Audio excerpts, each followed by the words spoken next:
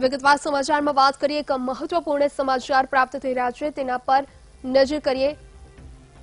બોટાદમાં આજે પાસ દ્વારા ચિંતન શિબિરનું આયોજન કરવામાં આવ્યું છે. હાર્દિક પટેલની આગેવાનીમાં ચિંતન શિબિરનું આયોજન કરાયું છે. પાસની નવી કોર કમિટીની રચના કરવામાં આવશે. આજે જે ચિંતન શિબિરનું આયોજન બોટાદ ખાતે કરવામાં આવ્યું છે. દિનેશ બાંભણિયાને કોર કમિટીમાં સમાવવા અંગે પણ ચર્ચા થઈ શકે છે. પાસના કન્વીનરો અને હોદ્દેદારો આ અંગે નિર્ણય કરશે.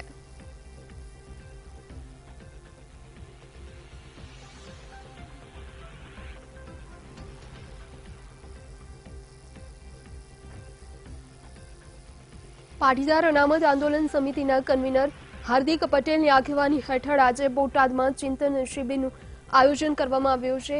આ ચિંતન શિબિરમાં પાસની નવી કોર કમિટીની રચના કરવામાં આવશે. હાલના નવ સભ્યોના માળખાના બદલે સભ્ય સંખ્યા વધારી એકવીસ કે એકત્રીસ કરવામાં આવશે. મહત્વનું છે કે પાસની કોર કમિટીના નવ સભ્યો પૈકી લલિત વસોયા અને કિરીટ પટેલ ધારાસભ્ય પદે ચૂંટાયા છે. જ્યારે દિનેશ બાંભણિયાએ રાજીનામું આપ્યું છે અને વરુણ પટેલ તેમજ રેશમા પટેલ ભાજપમાં જોડાયા હોવાથી બોટાદની ચિંતન શિબિરમાં નવી કોર કમિટીનું ગઠન કરવામાં આવશે. દિનેશ બાંભણિયાનો કોર કમિટીમાં સમાવેશ કરવો કે કેમ તે અંગે પાસના આશરે પંદરસો કન્વીનરો અને હોદ્દેદારો ઠરાવ પસાર કરી નિર્ણય કરશે.